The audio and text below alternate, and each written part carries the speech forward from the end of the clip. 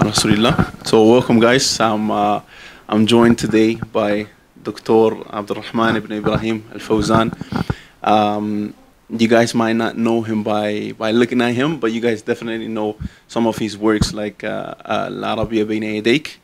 So um, a lot of us have benefited from it. So I'll introduce you guys, give you a little bit of an introduction, a little bit of background about the Sheikh and what he has accomplished and what he have done. And then I will start the interview with him. It's obviously going to be in, in Arabic. It's going to be translated.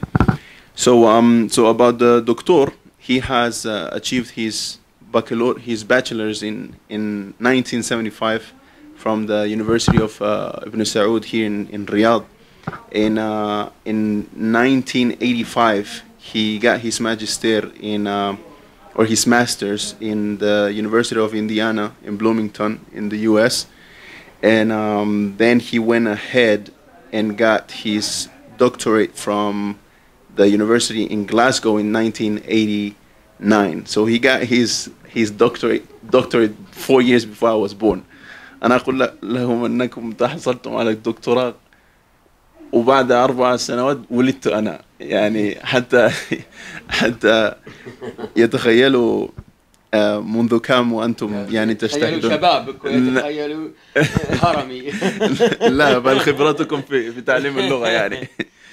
ف so yeah and then he of course became um, you know he started to to put a lot of work when he got back to to Saudi Arabia where he became the um, you know he started to help in the university in the in this you know in the in the sector of of Arabic language in the University of uh, Malik ibn Saud. Then he became the president of um, of the sector of you know preparation for teachers in the university in 2000, and then from there he started with this project, which is uh, Al Arabiya lil Jamia, the Arabic for for everyone where um, where he's a teacher and he is uh, basically the director of it of it and the reviser for whatever works comes out out of this uh, project. Uh, he as well have revised some of the books for the Ministry of uh, Education for for for the Ministry of Education in Saudi Arabia. He as well supervi- supervised over 5,000 teachers um, to prepare them basically to teach Arabic for non uh, Arabs. So, so that that happened in over 114 different sessions and different um, and different uh, you know muhadarat or conferences around the world.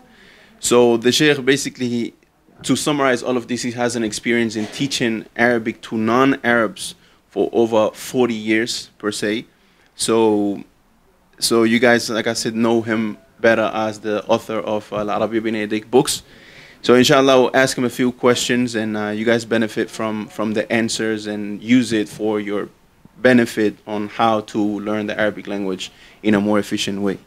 فجزاكم الله خيرا أولا يا شيخ على على قبول هذه المقابلة وعلى وقتكم وكذلك كنت أريد أن أذكركم بأنني من أولئك الطلاب الذين استعملوا هذه الكتب العربية بين يديك من الصفر إلى تعلم اللغة بل هي الكتب الوحيدة تعلمت من من النسخة القديمة والجديدة. فكل العربية التي أعلمها من هذه الكتب تقريبا. طبعا هذه الكتب بعد بعدها تعلمت شيء من النحو وشرح ابن عقيل وغير ذلك لكن كل المفردات وطريقة you know الكلام وكل هذه الأمور تعلمتها من هذه الكتب. فأشكركم بأسمى الشكر على هذا الجهد المبذول في في في هذه الكتب و والجهد المبذول تجاه اللغة العربية خصوصا لغير الناطقين بها. فجزاكم الله خيرا. حياك الله ومرحبا بك. في دارنا وأقول أن أن لك من الفضل الكثير حيث شاركتنا هم تعليم اللغة العربية وسعيت إلى الوصول إلى كيف تعلم فمرحبا بك وجزاك الله خيرا. الله خيرا. فأولا يا شيخ كنت أريد أن أسألكم بالنسبة لهذه المشكلة التي هي منتشرة و ألا وهي مشكلة أن تركيز المعلمين عندما يعلمون اللغة العربية لغير لغير الناطقين بها يركزون كثيرا على القواعد الصرفية والنحوية و وكل هذه الأمور التي يتعب الطالب خصوصا الذي الذي هو مبتدئ يتعب في البداية و ويستغرق من الوقت أكثر مما هو المناسب في تعلم اللغة. فكيف أدركتم هذه المشكلة وقلتم هذه مشكلة لابد أن نحلها ف فبدأتم في هذه الأعمال التي هي متجهة إلى إلى طلاب اللغة العربية الغير ناطقين بها. بسم الله الرحمن الرحيم. الحقيقة أن مشكلات تعليم اللغة العربية في خارج الوطن العربي وهو أكثر ليست محصورة بمشكلة ولا مشكلتين ولا ثلاث. والمشكلة أنهم مع العرب أيضا تأخروا في تلافي هذه المشكلات ولم يبدأ التعليم الحقيقي للغة كأداة تواصل. اللغة تواصلية كأداة وليست كموضوع آه، تخصصي. لم يبدأ إلا مع بداية هذا القرن حينما طلعت بعض الكتب آه، وبعضها بقيادة الدكتور محمود إسماعيل صالح وتخصص والتفت العرب أنفسهم إلى الطريقة الصحيحة وبدأوا يبحثون أو يتخصصون في علم اللغة التطبيقي أو كيف تعلم اللغات. بينما كانت في الماضي وأنا أكملت آه، البكالوريوس في جامعة الإمام وقبلها في معاهدهم المعاهد العلمية إذا كنت تسمع بها المتوسط والثانوي ما كان فيها أي ملمح من ملامح علم اللغة التطبيقي أو كيف تعلم اللغة هذا نتج عن ماذا؟ عن أنهم لم يشعروا ولم يدركوا الفرق بين تعليم اللغة لأهلها وتعليمها لغير أهلها. فأصبحت سواء آه، والحاجة وريدة الاختراع. فسرت هذه إلى مدة لكن الآن بدأت تتحسن. لكن لا زال طائفة منهم بقوا على بعض المشكلات. وكانت من أكبر المشكلات هي اتخاذ طريقة القواعد والترجمة. وأنت أشرت إلى القواعد.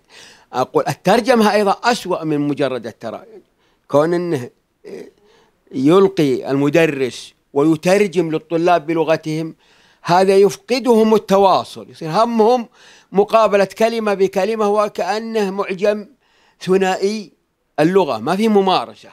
لا يكون هناك ممارسة قوية فضرت اللغة الوسيطة أو اللغة لغة الترجمة إلى لغاتهم حالت بينهم وبين السيطرة على اللغة كلغة تواصل. وأنا حينما أقول تواصل لا أعني الشفهي فقط. تواصل شفهي وأيضا آه، مكتوب. وأدت إلى مشكلة أخرى وهي تأخر التعليم.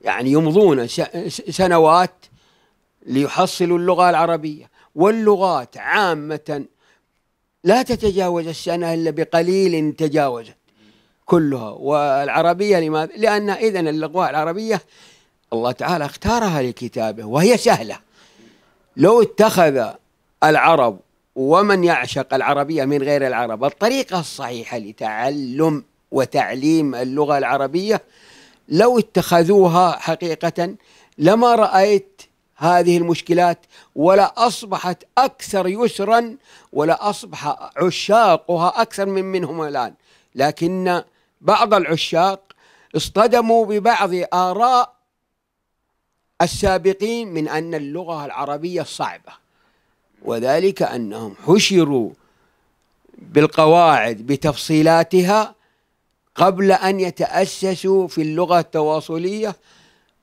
واستخدموا اللغة الوسيطة. وللكلام إضافة لكن قبل عندك أسئلة أكثر. هو كم الوقت المناسب الذي ترونه للطالب الغير ناطق باللغة العربية كم تظنون أنه مناسب ومعقول آه، أن يتعلم فيه اللغة العربية؟ السنة سنتين بعض الناس يقولون من المستحيل أن أن أن يصل الطالب في سنة واحدة إلى مرحلة الطلاقة في اللغة حيث يفهم ويعني يقدر على حل مشكلات الفهم عن طريق المعاجم العربية بنفسه. يرون يرون هذا مستحيل في في سنة. فماذا ترون في هذا؟ طيب قبل أن نجيب نأتي بقبله أو قبل هذا ترتيب اللغات حسب الصعوبة. بحث غربي صدر ليس ببعيد. رتب اللغات حسب الصعوبة. رأى أن أسهلها اللغة الإنجليزية. وأصعبها العربية والكوري والكورية. طبعا هو أخذها من زوايا هو مثل إبليس مع أبي هريرة. صدق وهو وهو كذوب. هو قاس اللغة العربية بوسائلها على اللغة الإنجليزية بوسائلها. هو وضع قال اللغة الإنجليزية 600 ساعة. وإذا قلنا 600 ساعة لا تتجاوز السنة إطلاقا. 600 ساعة بل لا تتجاوز. يعني معهدنا الآن اللي تدرس 25 ساعة بالأسبوع 25 ساعة قسم 600 على 25 كم يطلع أبو عبد الرحمن؟ يطلع أقل من السنة بكثير. وقال إن العربية تحتاج إلى 2200 إلى 2400 إذا هو أخذ أولا اللغة إنجليزية لمتعلمي أوروبا. إذا هذا يستبعد دقة المقارنة. ثانيا استخدم أو نص على الإنجليزية بمعاهد مشهورة. قارنها ببعض المدارس التقليدية للعرب. فأنا أقول صحيح أنهم يستغرقون 2400 ساعة بل أكثر إذا كان الكتاب ليس صحيحا والمعلم ليس صحيحا وليس هناك وسائل. نعود إلى سؤالك أنت كم مدة؟ الآن 600 ساعة. ثبت أن العربية تحقق الكفاية اللغوية ب 600 ساعة. كتبنا تقريبا 600 ساعة. وليس كلاما نظريا إنما مطبق. معهد الراية ما يجلسون ثمانية أشهر. معهد فجر بمصر قريب من هذا. فيه أيضا مستنسخات لها في آه، ملنج معهد آه، جامعة آه، مالك إبراهيم في ملنج وما إلى ذلك. إذا لا يستغرق والأصل ألا تستغرق. المدة تعليم اللغة أكثر من سنة. أنا حتى سبق أن ألقيت محاضرة في معهدنا وقلت هل معاهدنا مترهلة؟ يعني لماذا يجلس سنتين؟ طبعا قد يكون وجهة نظرهم أنه طبعا يكون هذه زيادة أن وجهة نظرهم أنها أن الطالب يأتي بمنحة سنتين. أنا أقول دع اللغة التواصلية والكفاية اللغوية بسنة. وأعطه لغة متقدمة لغة أكاديمية فيما بعد. يعني خارج اللغوي المعتاد. ويكون أحسن. إذا الوقت لا يتجاوز غالبا سنة أو قريب من السنة. لكن لا بد من أن تعدل بعض الطرق الماضية. لا بد من أن يكون الكتاب صحيحا وتواصليا. والمعلم أيضا متدرب ومتخصص أو في الأقل أخذ دورة لو خفيفة. نحن نقيم دورات بثلاثين ساعة. رأينا نفعها. في الأقل ننبههم إلى مواطن الكبيرة التي ينبغي أن يتوجهوا إليها. جزء من ما مما طول تعليم العربي وبالذات في الأقسام العربية في الجامعات خارج الوطن العربي أنهم يخلطون بين تعليم اللغة والتعليم عن اللغة يعني التخصص. فهو قسم واحد خالطها خلطة. والأصل أن يكون أول سنة تعليم لغة وإذا ضبط اللغة إن تخصص باللغة العربية وآدابها. جيد لكن الغالبية من عشاق اللغة العربية لا يريدون قسم اللغة العربية وآدابها دراسات إسلامية ولا تجارة ولا يعني أي شيء. فهم مشكلتهم أنهم خلطوا تعليم اللغة بالتعليم عن اللغة. هذا أخرها. وأصبح إنه إذا تخرج من الكلية حينئذ نقول أنه يعني معقول في اللغة. لكن بعد إيه؟ بعد أن أمضى سنين طويلة. إذا إذا هل هل تقولون إذا أن مستوى المستوى الذي يصل بعد بعد السنة هو مستوى غير أكاديمي يعني غير غير عالي أم ما هو المستوى الذي تقصدون به بعد سنة؟ لا أقصد مستوى عالي في اللغة التواصلية. يتكلم ويفهم ويسمع ويفهم يقرأ ويفهم ويكتب ويفهم. قراءة إلى درجة قوية. لكن حينما أقول الأكاديمية أحيانا اللغة الأكاديمية يعني كيف يتعامل مع البحوث وهذه الأشياء ولا يدخل بالتخصصية يعني الدراسات الإسلامية وهذا كتعليم اللغة لأغراض خاصة. لكن اللغة هي إذا استطعت أن تكون متواصلا شفهي وتحريري يعني تسمع وتفهم كل اللي تسمعه. وتقرأ وتتكلم وتفهم تماما. وتقرأ وتفهم وتكتب. هذه اللغة. ما عداها تخصص. دقيق. في النواحي البلاغية والتفصيلات في النحو آه، العلمية وما هذه تفصيلات لاحقة تفيده فيما بعد. لكنه لو اكتفى بها. حتى أن من يكمل الكتاب الأول عندنا اللي هو من جزئين. يكون عنده لغة تواصلية قوية بعضهم ينقطع عن الدراسة. ويقول أنا الآن أشعر أني ما عاد صار عندي مشكلة. لكن كما قلنا بشرط أن يكون تتضافر كتاب جيد ومعلم خبير. وإلا المعلم غير المدرب مهما كان الكتاب جيدا فإنه سيتناوله من زاويته هو. يحوله إلى قراءة ولا يحوله إلى ترجمة ولا يحوله. وكذلك آه، إذا كان المعلم جيد الكتاب حتى لو كان فيه نقص هو من خبرته يرقع آه، الخلل في الكتاب. تمام. وبعض بعض الطلبة معظم الطلبة الذين يشاهدون هم مرادهم فهم القرآن والسنة. فيريدون أن يشرعوا في دراسة الفقه ووصول الفقه وغير آه، ذلك من الفنون. فيشتكون بعد دراسة العربية بين يديك مثلا يشتكون من عدم فهم كتب ابن القيم أو كتب آه، شيخ الإسلام أو كتب العلماء. فهل ترون هذا مشكلة أم هذا شيء عادي؟ أو وكيف يحل هذه المشكلة؟ لا أراها شيئا طبيعي. وإن كان قد لا تكون الشكوى قوية. لكن إذا أنهى البرنامج على حقيقته التواصلي ودائما البرامج تعليم اللغات يبدأ بالشيوع ياخذ الشائع ليست كل المفردات. وأن تعرف أن كتب السنة هذه فيها ألفاظ شائعة وغير شائعة حتى أن العرب أنفسهم يحتاجون إلى أن يعرفوا بعض آه، الكلمات. فهو إذا أنهى هذا سيكون عنده جزء كبير من التدبر القرآن وفهم ذاك. إذا أراد أن يواصل فيمكن أن يواصل باللغة اللي لأغراض دينية. بمعنى أنه قد لا يتعلم عندنا. إيه، سبحان الله والحمد لله ولا إله إلا الله والله أكبر. قد لا يتعلم هذه مباشرة لكنه سيعرفها على عمومها. إن أراد التخصص وأصول الفقه وأصول الحديث آه، وجرح وتعديل وهذه قد لا تجدها في كتب تعليم اللغة إلا في بعض الكتب التي لا ت...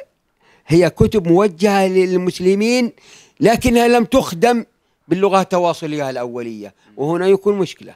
فأنا أفضل أن يبدأ باللغة التواصلية الأولية وفيما بعد سيكون حقق جزءا كبيرا من فهمه لتراث المسلمين وما بقي حصيلته يمكن بعض الأشياء أن يأخذها من خلال السياق أو يأخذها من خلال المعجم. ونحن العرب أيضا نعود الآن في بعض الحديث ولا بعض الآيات آه، الكريمة ما الفرق بين مذءوما ومذموما مثلا. هج وأج يعني العمق هذا قد يحتاج فيه إلى أن يطالع مثل هذه الكتب. طبعا اللغة العربية بحر واسع 12 مليون و300 ألف مفردة.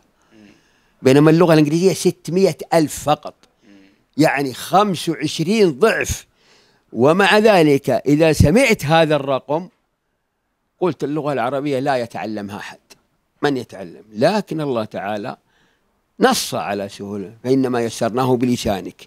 والتجربة أثبتت أن الناس يتعلمونها لكن لا يعني أنهم عرفوا جميع مفرداتها كما أن اللغة الإنجليزية ليس كل من تعلمها يعرف مفرداتها.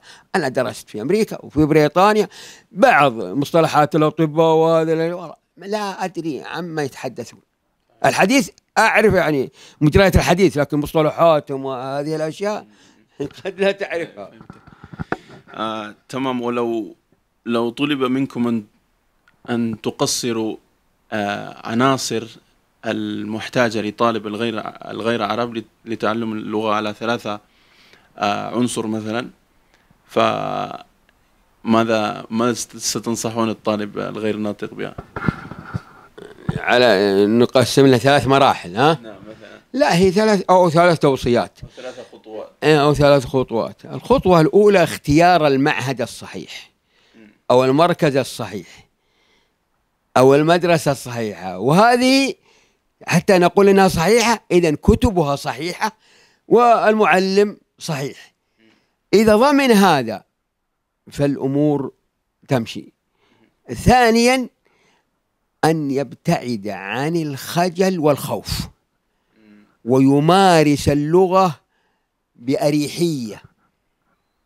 دائما الخجول والخائف يتأخر تعلمه. يخاف وخوفه ذا يعيق تفكيره. ينطلق ولا بأس هو متعلم. يبعد عن هذا. ثانيا الاجتهاد والحمد لله نحن لا نعاني من الدافعية. في متعلمي اللغة العربية بالذات من المسلمين وهم يمكن 99% لا نعاني من الدافعية فعندهم دافعية قوية وعندهم صبر. ولولا أن عندهم دافعية لما تعلموا على الطريقة القديمة. التي تعطيه كلامنا لفظ مفيد كاستقم واسم وفعل الفية بمالك ولا الجرومية هذه ولا تعطيها آه، الإعراب بحذافيره كلها. لما تعلموا لكن عندهم صبر. نحن الحمد لله لا نعاني من الدافعية عند المسلمين. لكن نقول أنه جيد أنه يعني يكون مثابر.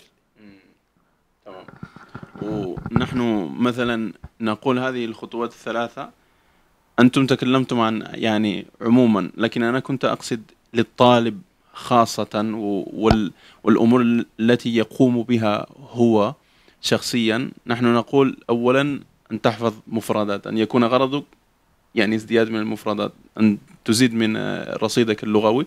بعد ذلك استعمالها كما قلتم بغير خوف بغير حتى حتى يعني تقوم بالممارسة. وثانيا أن ثالثا كما قلتم أن يكون لك آه، معلم يفهم في في الطريقة. يصححك حتى حتى يعني آه، تخلص من هذه الأخطاء شيئا فشيئا إلى أن إلى أن تصل وتتكلم بغير بغير أخطاء. فماذا ترون في هذه في هذه الخطوات حفظ المفردات واستعمالها الحقيقة هي أصلا إذا بدأت صحيحا نحن لا نسميه حفظ مفردات. إذا أخذ اللغة على حقيقتها يأخذها بناء على حوارات معينة في أول الطريق. هذه الحوارات عبارة عن تعبيرات وقوالب ونسميها أحيانا تراكيب. يمارسها مع زملائه. اسمي عبد الرحمن ما اسمك؟ كل واحد أنا من كذا من كذا ماذا تريد؟ أنا أريد كذا. يمارسها. إذا مارسها وعاها. وإذا وعاها انغمس في اللغة نحن نقول. أو غمر في اللغة. لا نقول حفظ لأن مجرد أن تحفظ ليس هو الطريق الصحيح. لكن إذا مارستها هذه القوالب أدت إلى أن تحفظها يعني أنك صرت تستجيب. واستجابتك لها نحن لا نسميه حفظ رغم أنه في المآل صار حفظا. لكن لو حفظ دون أن يمارس دون أن يأتي الحفظ نتيجة ممارسة إنما نتيجة اجتهاد في حفظ يحفظ يسمع لربعه ولقومه للجملاء هذا قد لا يكون يعني. لكن في الحقيقة أنه سيكون إذا مارس اللغة سيكون كأن حفظها. بل إنه أرقى من حفظها فالوعي أولى. فهمتم. إذا يعني لأن كثير العربية بين يديك في معظم الأماكن تعلم بهذه الطريقة. يعني تمر على على الحوار و ويشرح في حين قراءة الحوار كل كلمة. يعني مثلا ما جنسيتك؟ فيقال ما هذا للسؤال الاستفهام الجنسية جمعها جنسيات وهذا بمعنى هذا. والاسم جمعه أسماء. وبعدين يعني احفظ هذه الكلمات ضعها في رصيدك و ويعني جنب هذا معه يعني تمارس هذه الجمل. فماذا ترون في لا هي الحقيقة هو الأصل أن يبدأ تعليم اللغة للمستوى المبتدئ بحوارات. الحوارات هي في مواقف الحياة اليومية. يعني الناس أصلا إذا التقوا ببعضهم يتحاورون يسأل بعضهم بعضا. هذه الحوارات نحن نكررها الأصل أن المعلم يكررها. يعني السلام عليكم وعليكم السلام كل واحد يقول السلام عليكم يرددون معه ثم كل واحد يقول جميل في النهاية سيكون استطاع أن يؤدي الحوار وإن لم يفهم كل كلمة. يأتي بعدين درس مثلا مفردات تجيها الكلمة. يأتي درس التراكيب تجيها الكلمة يأتي درس الاستماع الكلام. في المحصلة هذا نسميه المدخل الحواري المحوري. يعني كل الوحدة تدور على ما في هذا الحوار. في النهاية سيحفظها وإن لم نقل احفظ هذه احفظ هذه احفظ هذه سيحفظها بقوالب متغيرة. وهذا هو العمق في اللغة التواصلية. وإلا مجرد الحفظ يمكن ينساه لكن حفظ الممارسة ما ينساه. غالبا حفظ الممارسة لذلك اللغة التواصلية. يستفيد منها الإنسان أكثر من اللغة على شكل أمثلة في الكتاب. يعني مثلا نقول ما اسمك؟ اسمي خليل. وما اسمك؟ أنت؟ اسمي خالد. هذه نماذج. لكن إذا انتقلوا إذا عرفوا هذا النموذج وانتقل إلى اللغة التواصلية يكون أعمق فهما. إذا ما اسمك؟ اسمي محمد. ما ما من أين أنت؟ أنا من كذا. ماذا تريد؟ يقول ماذا يريد هو؟ وحينئذ يصبح المثال الذي عرفه في الكتاب وعلمه المعلم ثم انتقلوا إلى اللغة التواصلية يصبح هذا تأسيس له لضبط العملية آه، لغويا. ثم ينطلق. وبالتأكيد أنه لا يؤاخذ المنطلق على أخطائه الشفهية. بقدر الإمكان يعني لا يصحح إلا ما يعيق وصول الرسالة يعني إذا لم يفهم. والباقي لا يصحح لأن العربي وهو عربي وحتى المتخصص وهو عربي ومتخصص في لغته الشفهية تجد فيها رفع شيئا ولا نصب شيئا فلا يسلم منها أحد. لكن إذا جاء الشيء المكتوب غالبا يدقق فيه أكثر. فالتصحيح في المكتوب آه، يكون أكثر منه في الشفهي لأن لا تقطع سلسلة أفكاره واسترساله آه، وطلاقته في الكلام. تمام. ومتى ترون إذا أنه مناسب إدخال ويعني الشروع في في تعليم النحو شرحا وتطبيقا بعد أن يعني بعد هذه المرحلة. والله أظن أظن هذا أن يجيب عنها مثالين أو مثالان لو الآن أقول اسمي عبد الرحمن ما اسمك وتقول اسمي محمد. والفصل كل واحد يقول اسمي كذا ما اسمك. وإذا كانوا صفريين ليس عندهم لغة. أليس من الممكن أن قبل نهاية الحصة أن سيكونوا عرفوها هذه؟ طيب لكن لو قلت اسمي اسم مبتدأ مرفوع بضمة مقدرة على آخره منع من ظهورها اشتغال المحل بحركة مناسبة الياء والياء ضمير متصل مبني على السكون في محل جر مضاف إليه. كم؟ 34 واحد. هل سيفهم هذا؟ كل هالمصطلحات هذه هل سيفهم؟ النحو ليس ضروريا. العرب وغير العرب في لغاتهم تعلموا لغاتهم دون أن يأخذوا نحو لكن النحو يفيدك فيما بعد. لذلك نحن في كتبنا العربية المبتدئ وهو التأسيس ليس فيه إلا تراكيب. هي نحو التراكيب. آه، أريد قلما. ماذا تريد؟ أريد قلم ماذا تريد؟ أين كذا؟ أين مثلا القلم؟ القلم في الغرفة القلم على الطاولة. بمعنى هو يريد قوالب. لكن إذا جينا للمتوسط نعطيه طرف من النحو لكن من زاوية المعنى من الوظيفة المعنوية المعني الدلالية ليست الوظيفة النحوية. يعني نعطيه حروف الجر ونقول هذه حروف الجر تجر الاسم بعدها. والباقي نمثل له أمثلة. ونضع أمثلة وفي فراغ هل تضع فيه ولا من ولا عن؟ يعني من زاويتها الدلالية. ثم عاد إلى جاء المتقدم نعطيها النحو إن وخواتها وكان وخواتها لكن ليس النحو التفصيلي للمتخصصين اللي فيها الشاردة والواردة والتأويل والتقدير. تعرف أنت مثلا التقديرات ولا الشواذ الجر بالجوار ولا بدل الغلط ولا هذه الأشياء الشاذة. الأصل أنه ما يأخذها. فتعليم النحو مفيد. نحن وضعنا أيضا في كتبنا الأخيرة أبواب النحو المشهورة وضعناها ولا فصلنا فيها بدقة. وهي إطلالة. والمشكلة أن الناس ارتبط في أذهانهم أن الدراسة هي دراسة نحو. اللغة العربية هي نحو. وربط في أذهانهم أن اللغة العربية أصلا قراءة لذلك يقرؤون. وما الذي جرهم إلى هذا؟ قد يكون جرهم البدايات السابقة للعرب ولغيرهم لأنهم كانوا يعتمدون على القاعدة البغدادية والقاعدة النورانية. وتعرفهما. نعم. وهاتان القاعدتان وغيرهما علمتها القرآن. لكن هل من تعلم القرآن؟ تعلم العربية؟ لا.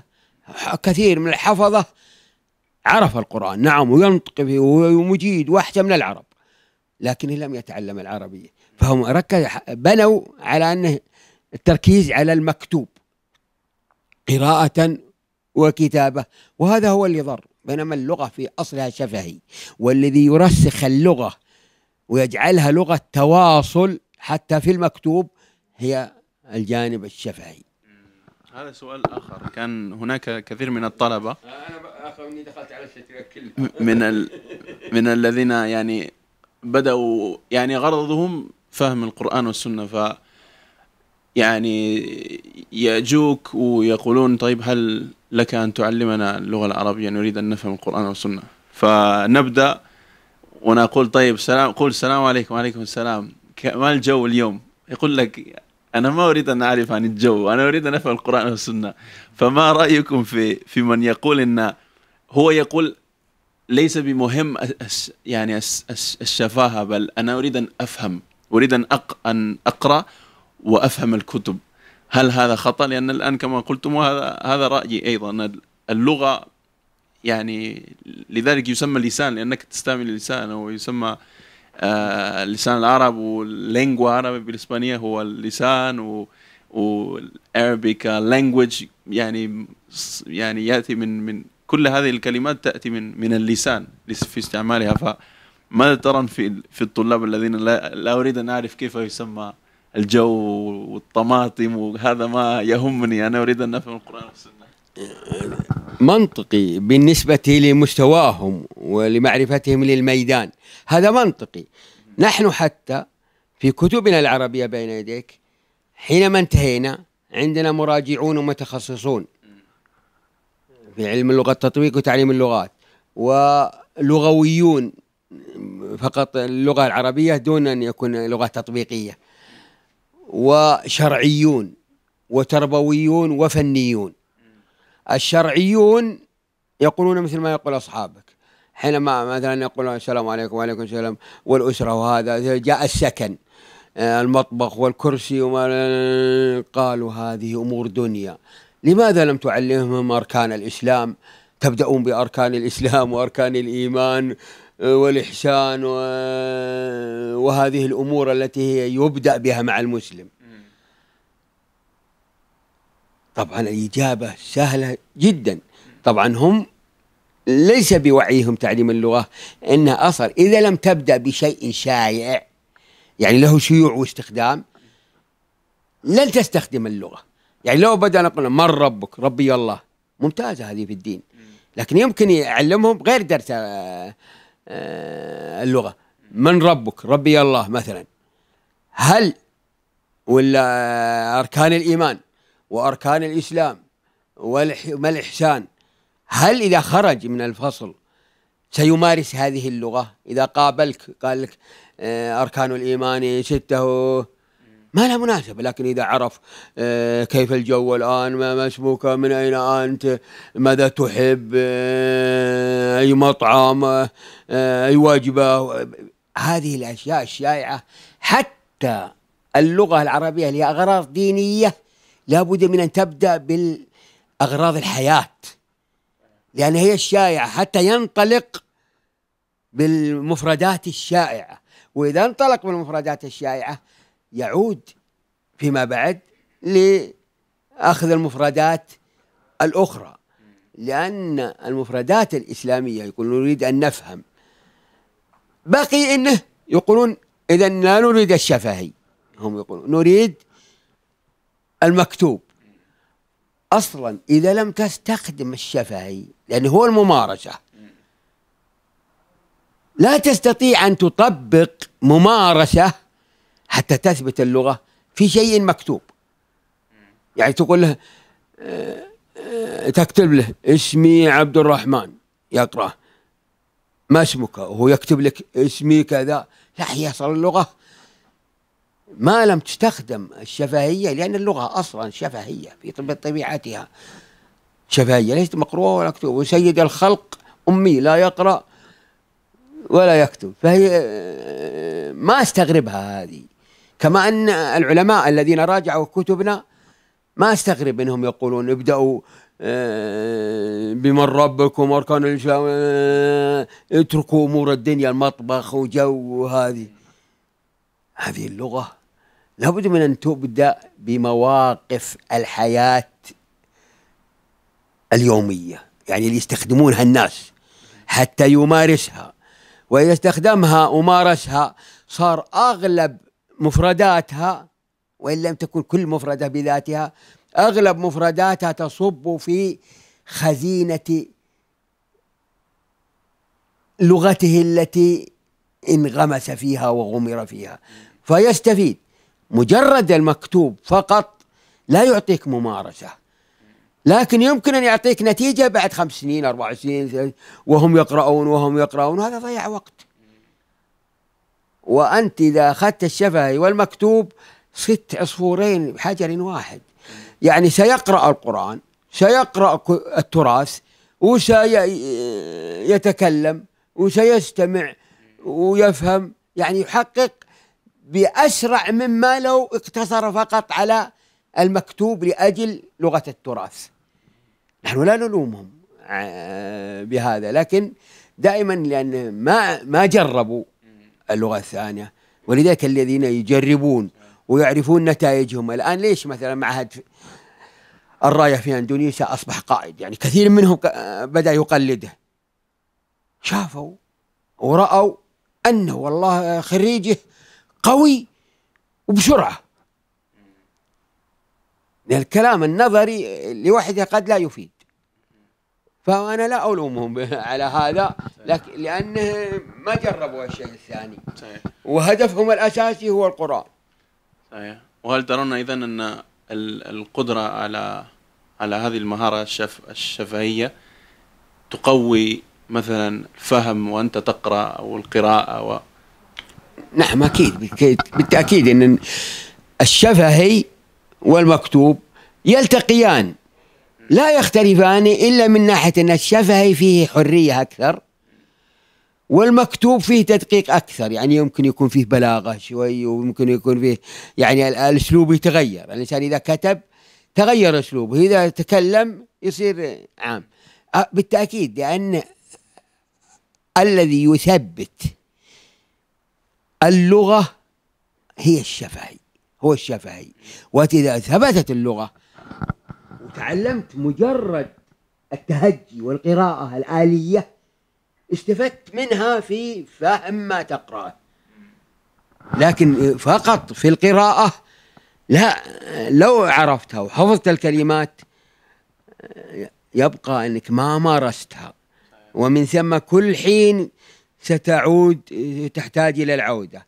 وثاني وأخيرا كم مرة نقولها الأصل أن الإنسان لا يفترض في نفسه أنه إذا تعلم برنامج في برنامج اللغوي أنه سيعرف مفردات التراث كلها. هذه كلنا الآن المتخصص أنا عمري فوق السبعين وحياتي كلها في اللغة العربية. ومع ذلك أفتح المعاجم وأفتح ماذا يراد بهذه الكلمة ماذا يراد بهذه الكلمة ماذا يراد نعم. جميل. وإذا بناء على الذي قلتم أن إن كثير من معلمي اللغة العربية من العرب لم يخبروا في في تعلم اللغة من صفر بل اكتسبوها عن تلقي أو آه، من أبويهم. آه، هل ترون إذا أن المعلم الذي تعلم اللغة من صفر ثم تعلمها إلى مستوى جيد هل ترونه أنسب في تعليم اللغة على الأقل في البداية من من أستاذ عرب؟ نعم هذا أكيد. إذا تعلم هو اللغة على طريقة صحيحة سينقل خبرته في تدريسه لطلابه. نحن الآن في البلاد خلال السعودية مثلا. لسنا قلقين كثيرا على معلمي الإنجليزية من السعوديين لأنه تعلم الإنجليزية بطريقة إلى الصحة أقرب. فهو الإنسان دائما ينقل خبرته.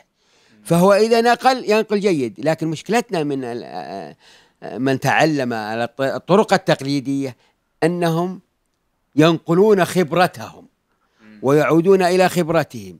فقد لا تكون صحيحة مية بالمية. وعلى العموم نحن لا نذمهم. نحن نقول طريقة يعني لو استبدلوها بغيره لكان أحسن. لكن جزاهم الله خير هم اجتهدوا ويؤجرون وندعو لهم. كل المعلمين وأصحاب المدارس ندعو لهم إن شاء الله أن الله يعطيهم إن شاء الله الأجر على ما قدموا. لكننا نقول إنه لو قدر لكثير منهم أن يعرف الطريقة الصحيحة لوفر كثيرا من الأوقات وكانت اللغة أكثر صحة وفي أقصر وقت. وهل ترون اذا أن كثير من الطلبة لا يرون تعلم اللغة العربية ممكنا إلا ولو سافروا إلى إلى بلد عربي إلا لو سافروا إلى مصر أو السعودية أو فينتظرون هذه الفرصة في حياتهم. وهل ترون اذا بناء على هذا الفكر ان أنه مهم ولازم أن تسافر إلى بلد عربي؟ يعني ونحن نعرف أن لا تجد بلدا عرب يتكلمون بالفصحى في الشوارع يعني. هل تظن أن السفر إلى هذه هذه البلدان من كما قلتم الغمس في في اللغة؟ لا شك أن السفر جيد لكن هو أصلا يعاني. المتعلمون للغة العربية يعانون من قلة بيئة التطبيق. يقول نحن نتعلم لكن ما عندنا ما نطبق. سواء كانوا خارج الوطن العربي يقول ما عندنا بيئة تطبيق. داخل الوطن العربي يقول بيئة التطبيق عندها لهجة. ولكل حل أصلا باستطاعة المدرسة أو المعهد والمعلمين باستطاعتهم أن يصنعوا بيئة تطبيق. ما هي بيئة التطبيق تبدأ أولا بأن لا يستخدموا لغة اللغة الأم إطلاقا وأن يفرضوا العربية داخل الصفوف وداخل المعهد. هذا لو تمكن وهكذا فعل معهد فجر ويفعل في مصر بل إنه وضع صندوقا عند الباب من ينطق بكلمة ليست عربية ضع جنيه. والناس تعرف أنهم يحافظون على هذا. لكن هذا مأجرين. فأقول إنه باستطاعتهم أيضا فرض اللغة العربية معهد الراية عندهم فرض ومعهد مالنج عندهم فرض. لا ينطق فيه أبدا في المعهد بل في المعهد كله. وعندهم أيضا أحيانا سكن ولا في السكن محظور. إذا عندهم بيئة قد تكون أصح من البيئة العربية. عندهم غير هذه البيئة باستطاعتهم أن يعملوا الرفيق آه، المجامل وإن لم يكن عربيا. ونفذها بعضهم. يعني يتفق اثنان. أو ثلاثة على الالتقاء يوميا ساعة ولا ساعة ويتعاهدون على ألا يتكلموا إلا بالعربية. فتكون لهم بيئة. يمكن عاد أن يشاهدوا قنوات التي بالفصحى ويستمعوا إليها وما إلى ذلك. الذين في البلاد العربية هم يشكون أيضا من أن بيئة التطبيق فيها لهجة فيها عامية. ولكن أحيانا يبالغون وبالذات في بيئة الجزيرة. العامية ليست ببعيدة جدا عن الفصحى. وقد ضخم الفارق بينهما وقد كذبوا. اللغة العربية موجودة في العامية. لكن في اختلافات بسيطة ما إن يعش الطالب الأجنبي بينهم حتى يكتشفها. جميع قوانين الصرف والبنية الصرفية موجودة. ما حد آه، ما يقول أكل ونام يعني كمفردات. ما حد يقول قام أمي وقامت أبي. ما حد يقول على البنية موجودة كثير من لكن لأن بعض نطقهم لبعض الكلمات قد يكون فيها نوعا ما من الانحراف وأكبر شيء وقعوا فيه وكلنا ذلك الشخص الذي نقع فيه اللي هو الحركة الأخيرة الإعرابية. إن قد لا يرفع المرفوع لكن الحركة الإعرابية ليست هي كل اللغة. يمكن أن يستمع إليها. فأقول إن البيئة لمن أراد هي موجودة. إن كان داخل الوطن العربي فعنده البيئة وإن كانت عامية سيستفيد منها كثير لأن أغلب ما يقولون هو فصيح. وفيه بعض المآخذ البسيطة. وإن كانت خارجية يعوض عنها بتطبيق وفرض اللغة العربية أو تنسيق لقاءات باللغة العربية. أنا أعرف حتى بجاكرتا بجامعة نقري جاكرتا أنهم عند عندهم منتدى أسبوعي لطلاب اللغة العربية ومعلميها. ليس فيه موضوعات دسمة إنما حوارات عامة. والهدف منها ممارسة اللغة. ولا شك إن إن لو كانت البيئة صحيحة ووجدت لكانت مساعدا قويا. لكن الأصل أن لا تكون عائقا عند الإنسان ولا سيما إذا أخذها في الفصل. لغة تواصلية وبين الطلاب وعلى شكل مجموعات ويمارسون اللغة سيعوضون كثيرا. فإذا لم ينطقوا إذا خرجوا إلا بالعربية أيضا كانت أفضل وأحسن. نعم. آه، تمام. إذا إذا هناك أحد سألني هو يريد أن يتعلم اللغة العربية لغرض دنيوي يعني يتفاهم مع الإمارات مع الإماراتيين في أمور دنيوية تجارة وهكذا. فأنا قلت له تمام ما في مشكلة. فسألني لكن هل تعلم اللغة العربية التي يتكلمون الناس في الشوارع؟ قلت اللغة العربية اللغة العربية. الناس في الشوارع في الإمارات يفهمونني. فهل تنصحون بتعلم الفصحى لمن أراد أن أن يتفاهم مع مع يعني مع العرب في الخليج مثلا لغرض دنيوي تجارة وغير ذلك. هناك أبحاث أصلا صدرت في هذا الشأن من يتعلم وبالذات في اللهجة الخليجية أبحاث في أمريكا. آه، من يتعلم اللهجة العامية وينتقل إلى الفصحى لا تكون سلسة. يعني يكون كأنه يتعلم من جديد أو قريب منها ومن يتعلم الفصحى لا تعجزه العامية ويعرفها بسرعة. فالفصحى تقودك إلى الجميع. لكن مثل بعض الذين لا يريدون إلا اللغة الشفهية الشفهية غالبا خليط بين العامية والفصحى. إذا هم يحتاجون إلى الطريقة المباشرة اللي هو الاحتكاك المباشر والعيش مع عوائل أو مع آه، شباب آه، عرب ومع اماراتيين مثلا وهنا يحققها ولا يلزم أن يكتب هذه باء لأن حتى العاميات كتابتها وقوانينها ليست سهلة كما تتصور. حتى عند الذين يعرفونها. أنا حضرت دروس لتعليم اللغة اللهجة المصرية. حضرتها في القاهرة. أنا أعرف اللهجة المصرية تماما لكن وهو يتكلم جالس أنا أريد أن أضع لها قواعد. يعني لما لا يقول إزاي بقى؟ طيب هل هي جملة اسمية؟ هي جملة فعلية. آه، فيها فاعل ولا ما فيها؟ يعني تضع لها قانون. هم طبعا حاولوا يضعون لها قانون لكن أقول أنه يظنون أنها بتلك السهولة. هي سهلة شفهيا وتؤخذ بما ما أخذها شفهي لكن باختصار. من يعرف الفصحى لا تعجزه العامية. بينما العامية قد لا تنقله إلى الفصحى نقلا سلسا. بينما الفصحى تنقلك إليها نقلا سلسا.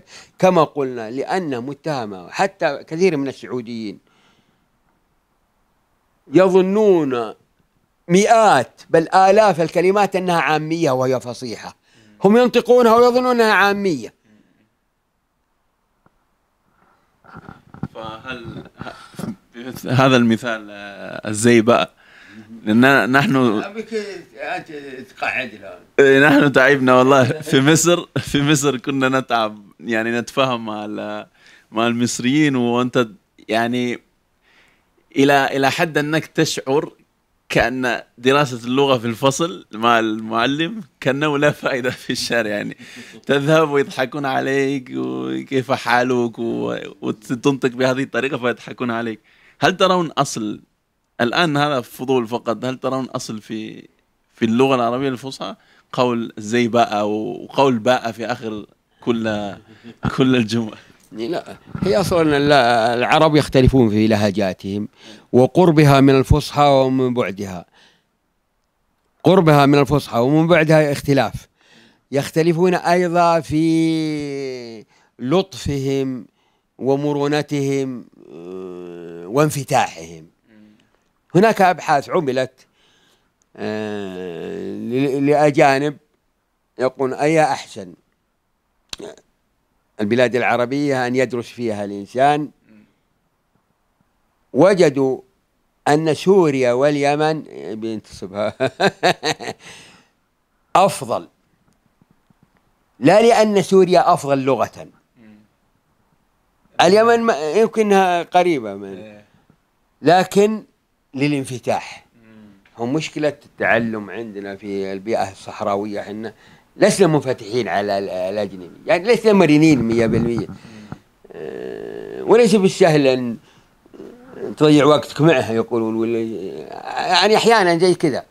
لكن الانفتاح وهو ثمرة وميزة لمتعلم اللغة العربية. هذا كان منفتح. تجلس معه. نحن استفدنا حينما كنا في الغرب؟ كنا نذهب. وقت آه، أنا تعلمت اللغة الإنجليزية لأني أخذت آه، المعاهد العلمية في جامعة الإمام وكلية اللغة كلها ما فيها إنجليزي. وذهبت مبتدئ صفري آه، لأمريكا. لكن كنا نذهب إلى الأسواق المغلقة. والأسواق المغلقة فيها كراسي في الوسط وهذا الشياب والعجائز يتعبون يقعدون. فنجي ونجلس مع واحد منهم ونقعد نمرن. ما حد يواخذنا إن أخطأنا ولا نصبنا فهي والله فادتنا. وكان بس بعد هذه ما لها نعم، علاقة. مع الفصل. مع الفصل ما تقدر مع الفصل يعني لو أراد واحد طالب مثلا آه، من الغرب يأتي ويفعل هذا نفس ما فعلتم في أمريكا في في السعودية مثلا قد يصعب عليه ويقول يعني ما أفهم لغته هذه العامية ويأكل حروف و... حتى حتى هم عندهم عاميات. لكن حتى العربي إذا جلس معه غير العربي يؤسفنا أن نقول أن أبيات السعودية عاد مختلفة اللي هي اللغة الهجينة هذه. ولا حتى مع مع الأشياء الرسمية غالبا حتى ال- الإنسان العادي يحاول ألا يكون بلهجة يعني قصية وبعيدة صح كما يسمى اللغة البيضاء صح؟ أو اللهجة البيضاء. يحاول هل هل يعني يحاول يقرب اللهجة من من يعني يعدل. هي هي تحتاج إلى تعديل بسيط. كثير منها لو تحللها وتأتي الشريط اللي مسجل وتقول حولها إلى فصحى. لو وجدتها فصحى إلا بس هذه نطقها كذا وهذه نطقها كذا وهذه نطقها كذا. وهذا طبعا يؤثر يؤثر على المتعلم لكن يجدون أن تقول يمكن ما يجد واحد يجدون آه، في هذا آه، أيضا ليس كلهم جهلة. كل الذين تعلموا إلى حد كبير كلهم يستطيعون أن يعطوك لغة ليست موغلة في العامية. معظم الناس يعني آه، تلتقي مع الفصحى كثيرا وهي قريبة منها طبعا ولا غروة فالبيئة هذه هي بيئة آه،. العربية وحسنة بيئات لأنها ما احتلت قديما ولا احتكت بالآخرين. فتجد أنهم موجودين.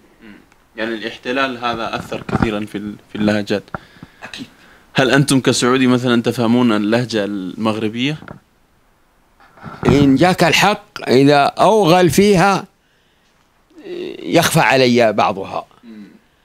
يقولون إنها ال- الأصعب. الأصعب. هي مشكلة المغرب أنه لأنه مزدوج اللغة. فرنسي آه، والعربي وأضف إلى ذلك البربري. فاجتمعت هذه الثلاث فإذا كان موغل قد يخفى عليك كثير. لكن لكن إذا كان لا يعرف البيئة والمناسبة ومن أمامه يعني أنه ليس يعني مغربي يمكن يقربها لك. صحيح. لكن لا شك إنها من أبعد اللغات آه، اللهجات عن الفصحى وطبعا تمام. ورجوعا إلى موضوعنا آه، ماذا ترون اذا في في- ما أهمية حفظ المفردات للطالب الغير العربي. آه، المفردات ك لأن يعني كثير من الطلبة في الغرب يسمعون مثلا الشيخ آه، ابن تيمين ينصح ب يعني سئل مره أي كتاب يبدأ الطالب به في تعلم اللغة فقال ال- ال- الاجروميه والكثير منهم يعني يخفى عليهم أن, آه، أن الشيخ كان يواجه آم، أناس عرب ف هذه فطبعا هل هل ترون إذا أن للطالب الغير عربي أن يكون له ك كهدف عندما يتعلم اللغة العربية أن أن أن يكتسب رصيد كبير من ال من الكلمات ال- اليومية مثل الأريكة و- والطاولة وهذه الأمور؟ بالتأكيد لكن قلنا قبل قليل إنه نحن لا نقول إنه يتعمد حفظ قوائم. لكن يمارس حسب المواقف مواقف إذا كانت في سكن إذا كانت فيها طعام إذا كان في شراب إذا كانت دراسة. هذه المواقف التي نسميها ويكون لها حوارات. ممارستها وتكرار ممارستها و آه، تدور بين الطلاب آه، وعلى شكل حلقات ويمارسون يعني تعليم صحيح. فيما بعد سيكون تقمص شخصية هذا الحوار أو المتحاورين سيكون هذا يعني أنه بطريقة أخرى كأنه حفظ. لكن هو ليس حفظ حفظ ممارسة. وحفظ الممارسة هو الحفظ الجيد. أما مسألة الشيخ ابن عثيمين رحمه الله طبعا على جلالة قدره لكن هو ليس متخصص بتعليم اللغات. كل الماضين حتى الذين آه، المشايخ الذين آه، يعني اعترضوا على بعض كتبنا. ما اعترضوا يعني آه، إلا أنه يقولون علموا أمور الدين أكثر من أمور الدنيا، نحن نقول أمور الدين معنوية. أمور الدنيا كثير منها حسي والناس يتعلمون من الحسي أكثر من المعنوي، وما لم تحصل درجة من الكفاية اللغوية في الأمور العامة هذه أمور الحياة العامة لن تستطيع فهم الملائكة. طيب كيف تشرحها لهم؟ أه, أه واحد جاي جايك من كوريا. الملائكة ماذا تقول له؟ ترسم ملائكة؟ ما في رسم. يعني لابد أن تشرح لهم ب طيب كيف تشرح؟ أصلا كل ما بلغهم يقولون ما أنت محدث. علي بن أبي طالب رضي الله عنه ما أنت محدث قوما بحديث لا تبلغه عقولهم إلا كان لبعضهم فتنة. أصلا كل ما زدت بالشرح كل ما عميت أكثر لأنهم ما يفهمونك أصلا فهو يقول الحفظ هذه هذه هاجس كثير من المتعلمين الماضين. وبالمناسبة الحفظ يغلب عليه أن يكون في البيئة الإسلامية. البيئة الغربية ليس عندهم ثقافة الحفظ. حتى قساوستهم. ما يحفظون أناجيلهم. ولذلك في المناظرات مع ديدات ولا آه، مع غيره يفشلون. يستشهد من كتبهم وهم لا يدرون هو صحيح ولا غير صحيح. ليس عندهم ثقافة. لذلك إذا طبق على غير البيئة الإسلامية مجرد احفظ لي هذا ليس في قواميسهم ومنظورهم هذا. لكن البيئة الإسلامية لا أخذوا على الحفظ وبدأوا بحفظ القرآن الكريم. باختصار أن حفظ المفردات يأتي من طريقين من طريق ممارسة المواقف ودوران المحاورة بين الزملاء يؤدي إلى أن يحفظوها أو أنه يجلس يضعها كقائمة ويتحفظها الأولى هي التي تثبت وهي اللغة التواصلية. هذه عبارة عن كلمة حفظها سرعان ما تطير من مخيلته وأما الثانية أيضا أن يضعها في قائمة. هل أو هل ترونه مناسبا أيضا أن يعني أن يجمع بين ال... بين الاثنين الممارسة وبعد هذه الممارسة أن يكتبها حتى لا ينسى. إذا كتبها إذا مارسها وحققها إذا كتبها جيد. لكن غالب الكتب إذا كان يتعلم عن طريق كتب هي خدمته أصلا وضعت قائمة المفردات. فهو إذا أراد أن آه، يتأكد يعود إلى آخر الكتاب ويشوف قائمة المفردات الوحدة الأولى. إذا شك في واحدة يرجع إلى الحوار. إذا رجع للحوار يبي يتذكره يبي يعرف الموقف يعني من السياق. فهي يمكن يعني الكتب تكون خدمته في هذه. نعم. إلا إذا كان هو يدون شيء كلمات لم ترد. وهذا منطقي أنها لم ترد فهو جيد. لكن لابد من أن يمارس ولا مجرد وإلا كان الكتيبات تعلم الإنجليزية بثلاثة أيام والفرنسية بثلاثة أيام والإيطالية تعرفها بعض الكتب. آه، في كتب صغيرة. والإيطالية يعني لغات الدنيا كلها بشهر وأنتم تعلمها. هل هذا تعلم؟ لا هذا شائح يبي يذهب إلى بلد آه، لا يعرف لغته يرى تفاح. اذا يشير إليهم. اللي مقابل تفاح يعني تنقذه في سياحة لكن ليست لغة تعليمية علمية. و... وكذلك مثلا في موريتانيا يأخذون المعجم ويحفظون كل ال- الأفعال الثلاثية. حتى يكون لهم علم بكل ال- الأفعال الثلاثية فعن طريق السياق إذا قرأوا في كلمة من هذا المصدر يعرفوا معناها. عرفوا بناءها سواء حركتها أو معناها. ما ترون في هذا. لا هذا هذا هذا جيد ومفيد لهم لكن لاحظ أن موريتانيا أنها بلد عربي. إن بلد عربي. يعني الكلمة ق- قد هو يريد تأسيس يعني هذه الكلمة ب- وجات كلمة أخرى إذا م- ما ما الفرق بين هذه وهذه؟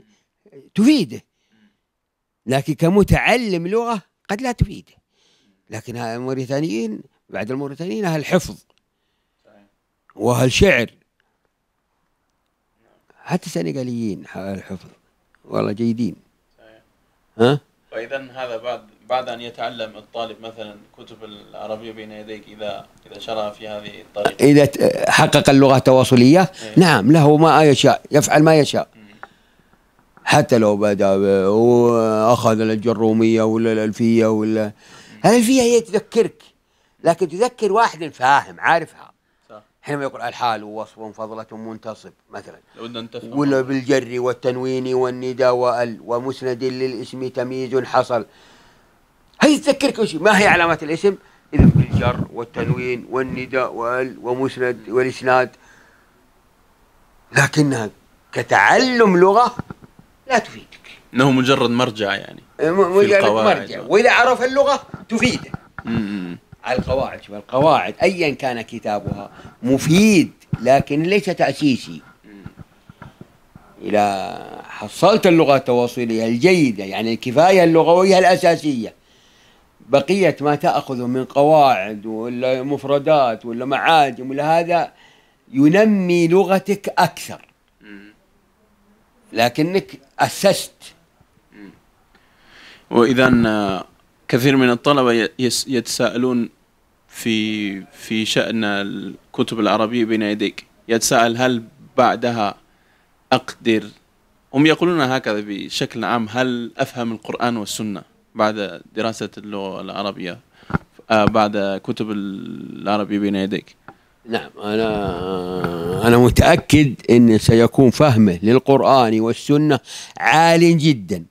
لكن لا يعني أنه سيصبح مفسرا ولا آه، شارحا للأحاديث لأن العربي نفسه قد يجد فيها بعض لكن أنا متأكد إن إن لم يكن 80 أو 90% فلن يكون أقل. لكن سيند بعض المفردات وهذه ليست في كتب العربية اليوم. مثل ما قلنا أن 11 مليون و300 ألف هذه ليه؟ العربية تعلم ماذا؟ تعلم 3000 أو 4000 مفردة الأساسية هذه لا تغطي كل المفردات لكنك إذا أخذت المفردات الأساسية التأسيسية ساعدتك على أن يكون للسياق دور في فهم المفردة تصير تعرف اللي حولها هذه المفردة وإذا عرفت اللي حولها السياق ساعدك على ما يعني لو تقول مثلا أكلت تفاحة ناضجة. مجرد قولك أكلت تعطيك انطباع إذا ما بعدها سيكون مأكول. إذا قربت المسألة لك. ثم تفاحة إذا سيكون مو... وصف لها. وش وصفها؟ يعني تعطيك بعض. أنا ترى ما أصلح لهذا اللي. تعطي تعطيك يعني السياق يعطيك إلى درجة كبيرة فهم بقية المفردات. سواء عاد فهما لمعناها العام أو المعناها الدقيق. لأنك تعرف أن المفردات لها معنى عام ولها معنى دقيق. يعني لو أقول لك قضم ولا خضم كلها للمضغ. لكن قضم لمضغ الأشياء اليابسة فستق ولا شيء. وخضم للاشياء الطرية. آيس كريم من هذه الأشياء. لكن إذا فهمت إن هذه إنها للمضغ. خلاص يكفي. يعني المعنى الدقيق هذا لا يقوم في كل شيء. لكن القرآن والسنة فيها أشياء كثيرة آه، يغوص والله تعالى ما اختار. اللغة العربية لكتابه الذي سيبقى إلى قيام الساعة إلا ليعطي المعنى بدقته. بينما اللغات الأخرى؟ مثل الإنجليزي ولا ما إيش تقول أنت؟ إذا قلت ها آه أنت ماذا تقول بالإنجليزية؟ you you وصارت مرة. امرأة.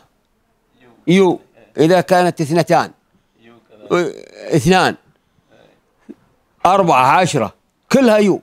لكن أنت أنت أنتما أنتم أنتن. يعني الم... فيها تحديد فيها دقة.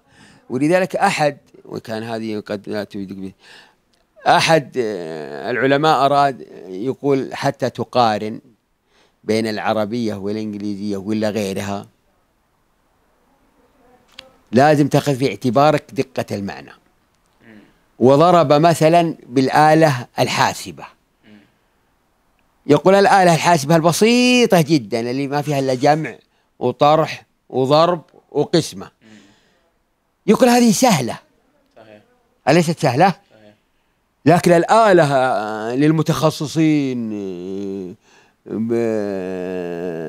الرياضيات وهذه الآلة المعمقة اللي فيها نسب وفيها ماذا؟ هذه أصعب منها. إذا هل سهولة الآلة الأولى ميزة لها؟ على حساب تلك تلك صعبة نوعا ما لكن تعطيك وظائف كثيرة. وهذه لأنها سهلة ما أعطاك إلا الوظائف القليلة. هو يمثل. يقول أن اللغة العربية ثرية وتعطيك المعاني بأكثر دقة. وغيرها ليس ثري ولا يعطيك المعاني بأكثر دقة. ومع أنها ثرية إلا أن الله تعالى قد يسرها. وهذا معروف. وحتى تيسير القرآن يعني من كان يتصور أن الإنسان سيحفظ 600 صفحة وهو لا يعرف معناها. والله لا يمكن أنا لو تعطيني صفحتين بالإنجليزي وأنا لا أعرف معناها لا يمكن أن أحفظها. ومع ذلك الله تعالى فإنما يسرناه بلسانك. لقد يسرنا القرآن للذكر فهل فميسر وهل ترون إذا أن تعليم الصغار وتعليم الكبار يختلف أم أنه نفس الطريقة؟ إذا أردنا أن نعلم عندنا أكثر من مستوى ثلاث مستويات. مستوى اللغوي المستوى العمري المستوى الثقافي. فأول ما أنتبه في تعليم اللغة هو المستوى اللغوي. إذا عرفت أن مستواها اللغوي مبتدئ طيب أشوف مستواها الثاني. هل هو صغير؟ أعطيه ما يناسب الصغير. ثقافته عالية أعطيه ما يناسب الثقافة.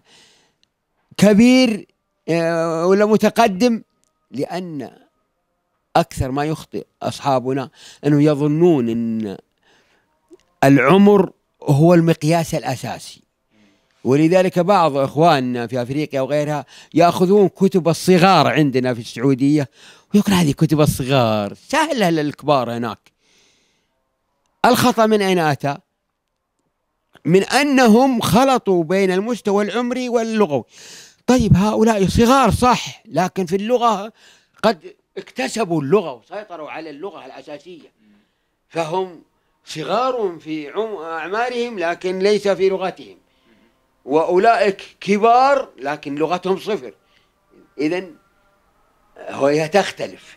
لكن المبتدئ هو المبتدئ. هنا وهنا لكن أعطيه ما يناسبه من المواقف أعطي للصغير غير الكبير. الكبير يمكن أعطيه مواقف طلاق وبيوع وهذا يمكن أعطيه بعض المواقف اللي فيها لعب وقصة وحبكة وطيوري وقطتي. و... أما التطبيق نفس الشيء ممارسة. إيه إيه. لكن أهم شيء إنه إنك تأخذ بمبدا إنه ما المستوى اللغوي له. مبتدئ أعطه ما يناسب المبتدئ. متق... متوسط متوسط. متقدم متقدم. ثم إذا حددت مستواه أيضا هل هو صغير ولا كبير؟ تعطي الكبير موضوعات ومواقف تعلمه اللغة عن طريقها غير ما تعطي الصغير. وقد تكون البدايات الأولية يشتركون فيها يعني المواقف الحياة العامة التي الصغير والكبير آه، يشترك فيها. لكن إذا بدأت آه، الأمور تكون آه، أكثر قوة ما يناسب الكبار غير ما يناسب الصغار. قبل أن نختم كنت أريد أن أن أوريكم برنامجنا ويعني تنصحني فيه. هل في شيء؟ تنصحني بأن أغيره أو انه شيء غير مف- مفيد و... ما أصعب على الإنسان أن يغير شيئا له. نحن نحن الذين أو الذين صبحوا الصباح. نستعمل تقريبا نفس الطريقة. أنا كنت أريد أن أوريكم. هو طالب بدأ معنا. حتى أوريكم. في إسبانيا ولا؟ هو هو على الشبكة. دبي؟ لا هو ال- نحن نعلم على الشبكة. الشبكة. فهو تعلم آه، من الصفر. في سنة وسنة ونصف وصل إلى هذا المستوى. هل تعرف؟ الاستغفار ينقي القلب ويطهره. ينقيه من ظلمات المعاصي والذنوب لأن الذنوب إخوة الكرام تسود القلب. كما نعلم من حديث النبي صلى الله عليه وسلم قال النبي صلى الله عليه وسلم إن المؤمن إذا أذنب كانت نكتة سوداء في قلبه. إخوة الكرام اسأل نفسك هل رأيت إنسانا يعيش في بيت لا ينظفه؟ أو هل رأيت إنسانا لا يغتسل ولا ينظف ثيابه؟ فإذا كيف تعيش حياتك بقلب وسخ؟ قال النبي صلى الله عليه وسلم إني لأستغفر الله وأتوب إليه في اليوم مئة مرة.